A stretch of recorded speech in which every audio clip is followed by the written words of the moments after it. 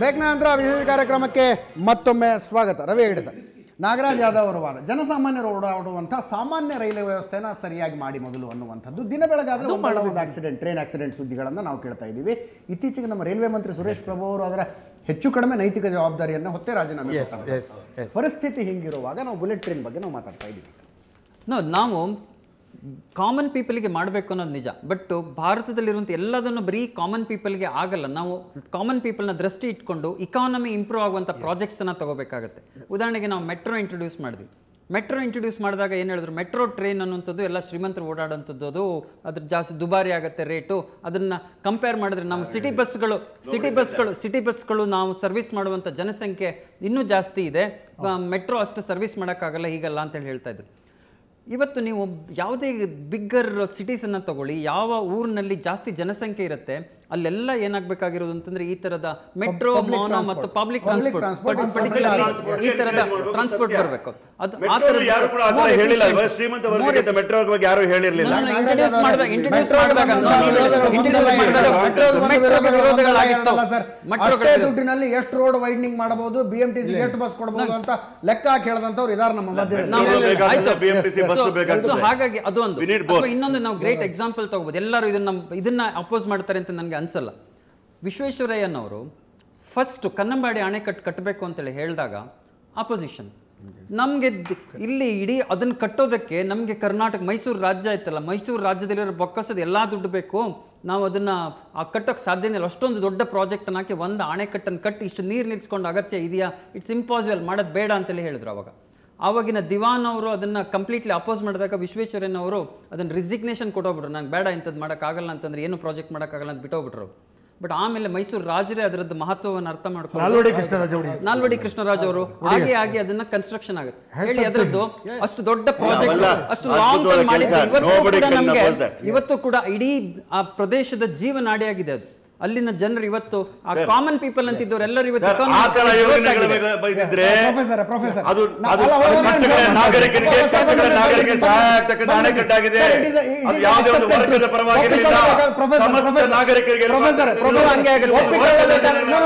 ಒಂದು ನಿಮಿಷ ಬರ್ತೀನಿ.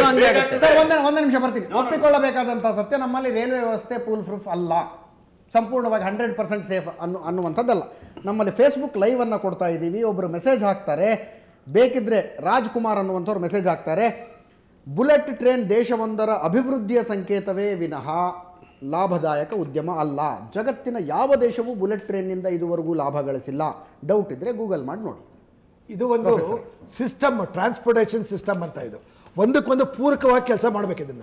ಅಂದ್ರೆ ಏರೋಪ್ಲೇನ್ನಲ್ಲೇ ಕನ್ಕಾರ್ಡ್ ತಂದರು ಬೋಯಿಂಗ್ ಯಾಕೆ ತಂದ್ರು ಆರ್ಡಿನರಿ ಬ್ಲೇಡ್ ಪ್ಲೇನೇ ಯೂಸ್ ಮಾಡ್ಬೋದಾಯ್ತಲ್ಲ ಅವಾಗ? ಸೊ ಅದರಿಂದ ಒಂದು ಒಂದಕ್ಕೊಂದು ಬೆಳವಣಿಗೆ ಆಗಲೇಬೇಕದು. ಒಂದು ನೀವು ನೀವು ಹೇಳಬೇಕು ನೀವು ಹೇಳೋದಕ್ಕೆ ಪೂರಕವಾಗಿ ಒಂದು ಮಾತು ಹೇಳ್ತೀನಿ. ಭಾರತೀಯ ರೈಲ್ವೆ ಲಾಭದಲ್ಲಿದೆಯಾ ಸರ್? ಲಾಭದಾಯಕ ಉದ್ಯಮ ಅಲ್ಲ ತಾನೆ. ಭಾರತೀಯ ರೈಲ್ವೆ ಲಾಭದಲ್ಲಿದೆಯಾ? ಲಾಭದಲ್ಲಿ ಇಲ್ಲ ಅಂದ ತಕ್ಷಣ ಕ್ಲೋಸ್ ಮಾಡಿಬಿಟ್ರೆ ಭಾರತದ ಇಡೀ ಉದ್ಯಮ ವ್ಯವಸ್ಥೆ ಏನಾಗುತ್ತೆ ಸಿ ಕೆಲವೊಂದು ಇನ್ಫ್ರಾಸ್ಟ್ರಕ್ಚರ್ ಇರುತ್ತೆ ಲಾಭದಾಯಕ ಆಗಿರಲ್ಲ. ಆದ್ರೂ ನಡೆಸಲೇಬೇಕಾಗುತ್ತೆ.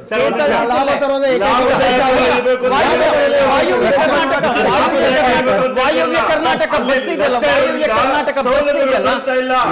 ಇನ್ವೆಸ್ಟ್ ಮಾಡಿ. ವಾಯುವ್ಯ ಕರ್ನಾಟಕ ಕರ್ನಾಟಕ ಬಸ್ ವಾಯುವ್ಯ ಕರ್ನಾಟಕ ಬಸ್ ಕ್ಲೋಸ್. ಮಾಡ್ತೀರಾ? ಲಾಭದಾಯಕ ಅಲ್ಲ ಅಂತ ವಾಯುವ್ಯ ಕರ್ನಾಟಕ ಬಸ್ ಅನ್ನ ಕ್ಲೋಸ್ ಮಾಡ್ತೀರಾ ಸರ್? ಒಂದ್ ನಿಮಿಷ. ಹಳ್ಳಿಗೆ ಹಳ್ಳಿಗೆ ಹೇಳ್ತೀನಿ. ಅದರಲ್ಲೂ ಕೂಡ ಹೇಳ್ತೀನಿ ಕೇಳಿ.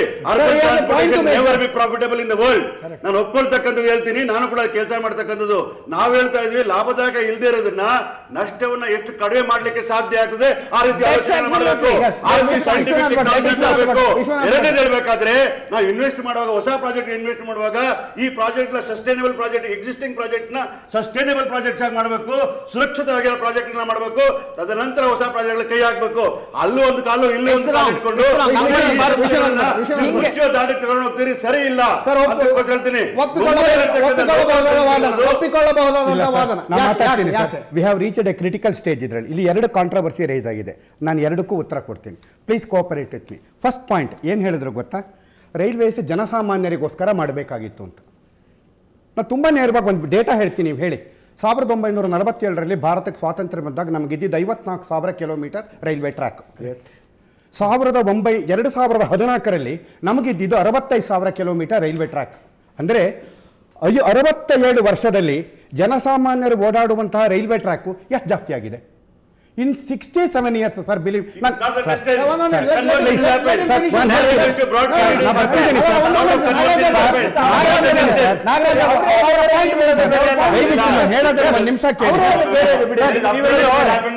ಗೊತ್ತು ಸರ್ ನಾನು ಅದಕ್ಕೆ ಬರ್ತಾ ಇದ್ದೀನಿ. ನಾನು ಅದನ್ನು ಹೇಳಕ್ ಬರ್ತಾ ಇದ್ದೀನಿ. ನೀವು ನಂಗೆ ಮಾತಾಡಕ್ಕೆ ಬರ್ತಾ ಕನ್ಫ್ಯೂಷನ್ ಮಾಡಿ ಕನ್ವಿನ್ಸ್ ಮಾಡಬೇಡಿ. ದಯವಿಟ್ಟು ಕನ್ಫ್ಯೂಷನ್ ಮಾಡಿ ಕನ್ವಿನ್ಸ್ ನಾ ನೀವು ಮಾತಾಡೋತ್ತಿಗೆ ನಾ ಮಾತಾಡ್ಲಿಲ್ಲ ಸರ್ ನನಗೂ ಅದೇ ತರಹ ನಾನು ಒಂದು ಇದನ್ನ ನಿಮ್ಮಿಂದ ನಿರೀಕ್ಷೆ ಪಡ್ತೀನಿ ಅರವತ್ತೇಳು ವರ್ಷದಲ್ಲಿ ಯಾವ ಪಕ್ಷ ಅಂತ ಹೇಳ್ತಿಲ್ಲ. ಅರವತ್ತೇಳು ವರ್ಷದಲ್ಲಿ ದೇಶದಲ್ಲಿ ಹನ್ನೊಂದು ಸಾವಿರ ರೈಲ್ವೆ ಟ್ರ್ಯಾಕ್ ಕಿಲೋಮೀಟರ್ ಜಾಸ್ತಿ ಆಯ್ತು. ಈಗ ಈ ಐದು ವರ್ಷದಲ್ಲಿ ಜನಸಾಮಾನ್ಯರು ಓಡಾಡುವಂಥದ್ದು ಸರ್ ಐದು ವರ್ಷದಲ್ಲಿ ಆಲ್ರೆಡಿ ಮೂರು ವರ್ಷ ಆಗಿದೆ.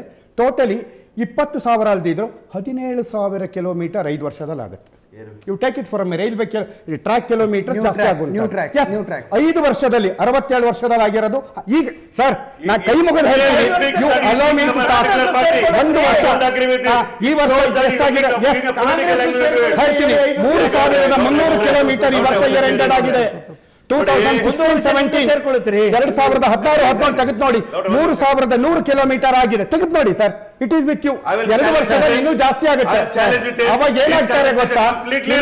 ಎಲೆಕ್ಷನ್ ಹತ್ರ ಬಂತು ಜಾಸ್ತಿ ಮಾಡಿದ್ರೆ ನಾಗರಿಕರಿಗೆ ಕೊಟ್ಟಿರ್ತಕ್ಕಂಥ ಇಲ್ಲ. ರೈಲ್ವೆ? ಸೌಲಭ್ಯಗಳನ್ನ ಉತ್ತಮ. ಹೇಳಿ ಖರ್ಗೆ ಅವರು ಮಾಡಿದ ಕೆಲಸದಲ್ಲಿ. ಇವರ ಪ್ರಭು ಆಗಲಿ ಯಾರು ಕೂಡ ಒನ್ ಪರ್ಸೆಂಟ್.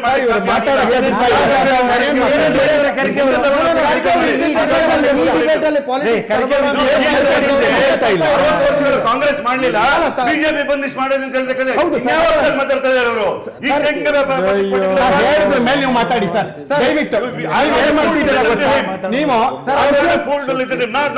ಕನ್ಫ್ಯೂಸ್ ಮಾಡಿ ದಯವಿಟ್ಟು ಅಸೆಂಬ್ಲಿ ಮಾಡಬೇಡಿ ಸರ್. ಅಲ್ಲ ಸರ್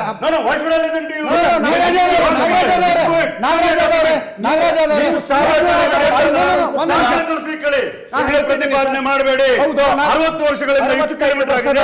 ಮೂರು ವರ್ಷಗಳಲ್ಲಿ ಸಾವಿರಾರು ಕಿಲೋಮೀಟರ್ ಆಗುತ್ತೆ. ಏನ್ ಮಾತಾಡ್ತೀರಿ?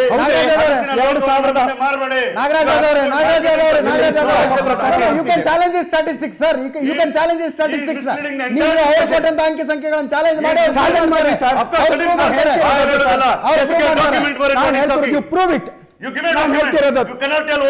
ನೋಡಿ sir You shall have a- officially ಹೇಳ್ತಾ ಇದ್ದೀನಿ ಹನ್ನೊಂದು ಸಾವಿರ ಕಿಲೋಮೀಟರ್ ನಾಗರಾಜ್ ಅವರೇ ನಾಗರಾಜ್ ಅವರೇ See, Ajit, No, sir, no, ಅವ್ರು no, no, ಮಾತಾಡೋದೇ no, no, ಇರ್ತಾ ಇಲ್ಲ. no, no. Somebody c- c- speaks on the air like that. ಅಲ್ಲ ಒಂದ್ ನಿಮಿಷ ದೇಶ ನಾಗರಾಜ್ ರಾಷ್ಟ್ರ ಅವರೇ, ದೇಶ ನಾಗರಾಜ್ ಹೇಳ್ತಾ ಅವರೇ, ಇದ್ದೀನಿ. ನಾಗರಾಜ್ ನಾವು ಅವರೇ, ದಾಖಲೆಗಳು ಮಾತಾಡ್ತಾ ನಾಗರಾಜ್ ಅವರೇ, ಇದ್ದೀವಿ. now let us move to the next point. Yes. Well, Sir, let- ನಾನು ನಾ- ಒಂದ್- ಮುಗಿಸ್ಬೇಕಾಗಿದೆ, ಒಂದೇ sir. ನಿಮಿಷ ಬರ್ತೀನಿ ಒಂದೇ ನಿಮಿಷ ಬರ್ತೀನಿ ನಮ್ಮ ದೇಶದ ಸಂಸತ್ತಿನಲ್ಲಿ ಹೇಳಲಾದಂತಹ ಅಂಕಿಅಂಶಗಳು ಸತ್ಯ ಅಂತ ನಾನು ನಂಬ್ತೀನಿ ಈ ಅಂಕಿಅಂಶಗಳನ್ನ ಸಂಸತ್ನಲ್ಲಿ ಹೇಳ- ಹೇಳಲಾಗಿದೆ ಹೇಳಿದೆ ಸರ್ ನಾನು ಹೇಳೋದು ಪಕ್ಕ. ಸುಳ್ಳು ಹೇಳಿದ್ದಾರೆ ಅನ್ನೋ ನಿಮ್ಮ ವಾದ budget ಬಂದಿದೆ, sir. Let let us debate on let us debate on ಇಲ್ಲ, ನಾನು ಶಾಸಕ ಆಗಿದ್ದು. ಈ ಈ ದೇಶದ ಒಂದು ನಿಮಿಷ. ಸಂಸತ್ನಲ್ಲಿ ಅಂಕಿಅಂಶಗಳನ್ನ ಇಲ್ಲ, ಇಲ್ಲ. ನಿಮ್ಮ ವಿಶ್ವನಾಥ್ ಮಾತು ವಿಶ್ವನಾಥ್ ಭಟ್ ಅವರು ಹೇಳಿದ್ದಾರೆ ಶಾಸಕ ಆಗಿದ್ದು ಒಂದು ನಿಮಿಷ Yes. ಸಂಸತ್ನಲ್ಲಿ ನಡೆಯೋದಷ್ಟೇ ಇಲ್ಲಿ ಶಾಸಕಾಂಗದಲ್ಲಿ ನಡೆಯೋದಷ್ಟೇ ನೀವು ಈಚೆ ಕಡೆ ನಾಗರಾಜ್ ಯಾದವರು ಏನು ಬೇಕಾದರೂ ಮಾತಾಡ್ಬೋದು ಅದನ್ನೇ ಕೆ ಇದು ನಾವು ಇವಾಗ ಬಿ ಬಿ ಎಂ ಟಿ ಸಿನಲ್ಲಿ ಏನು ನಡೀತಿದೆ ಅಂತ ಕೇಳಿದ್ರೆ ಇವರು ರೇವಣ್ಣ ಅವರು ಕರೆಕ್ಟಾದ ಅಂಕಿಅಂಶನೇ ಕೊಡಬೇಕು ಕರೆಕ್ಟಾಗಿ ಕೊಡಲಿಲ್ಲ ಅಂತಂದರೆ ಅವ್ರ ಮೇಲೆ ಇದನ್ನು ತರ್ತೀವಿ ನಾವು. ನಿಲುವಳಿ ಸೂಚನೆ ತಂದು ಅವ್ರಿಗೆ ಪನಿಷ್ಮೆಂಟ್ ಕೊಡೋ ಮಟ್ಟಕ್ಕೆ ಹೋಗ್ಬಿಡುತ್ತೆ. ಆದ್ದರಿಂದ ತಮಗೊಂದು ಹೇಳೋದೇನಂದ್ರೆ ಸಂಸತ್ನಲ್ಲಿ ಕೊಡ್ಲಿ ಶಾಸಕಾಂಗ ಇದರಲ್ಲಿ ಕೊಡ್ಲಿ ನಮ್ಮ ಇದು ವಿಧಾನಸಭೆ ಸರಿಯಾದ ಲೆಕ್ಕ.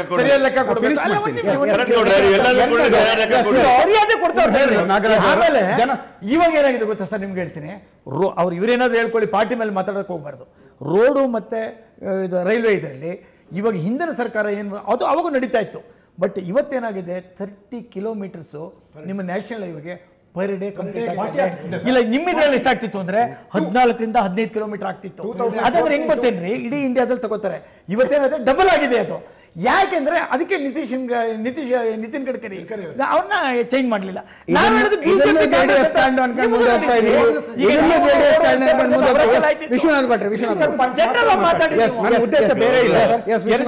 ಈಗ ಟ್ರೈನ್ ಅಗತ್ಯ ಇತ್ತಾ? ನಾನು ಕೇಳಿದ್ರೆ. ಗೊತ್ತಾ? ಎಸ್ ಜನಸಾಮಾನ್ಯರು ಹೋಗ್ಲಿಕ್ಕಾಗತ್ತಾ? ನಾನೇ ಲೇಟಸ್ಟ್ ಟೇಕ್ ಹೋಗ್ಲಿಕ್ಕಾಗಲ್ಲ ಅಂತ ಇಟ್ಕೊಳ್ಳೋಣ. ಸರ್? ಆ ತರದ್ದು ಹೂಡಿಕೆ ಬಂದಾಗ ಅದರಲ್ಲಿ ಎಷ್ಟು ಜನಗಳಿಗೆ ಕೆಲಸ ಸಿಗುತ್ತೆ. ಆರ್ಥಿಕ ಕ್ರಾಂತಿ ಆಗುತ್ತೆ ಅದರಲ್ಲಿ ಬರೋ ತೆರಿಗೆನ ಬಡ ಜನಸಾಮಾನ್ಯರು ಉಪಯೋಗಿಸಬಹುದಲ್ವಾ ಸರ್?